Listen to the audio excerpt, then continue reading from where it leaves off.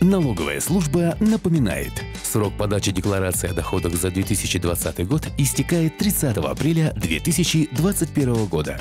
Представить декларацию обязаны лица, получившие доходы от продажи и аренды имущества, от продажи транспорта, от продажи ценных бумаг, от выигрыша по договору дарения.